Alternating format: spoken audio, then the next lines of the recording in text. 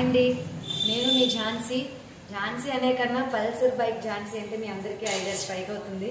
Sridevi drama కంపెనీలో చేసిన నా పర్ఫార్మెన్స్ని హైప్ చేసిన ప్రేక్షకులందరికీ థ్యాంక్ యూ సో మచ్ ఈ రోజు అయితే నేను గుంటూరు రావడం జరిగింది ప్రోగ్రామ్ నిమిత్తం.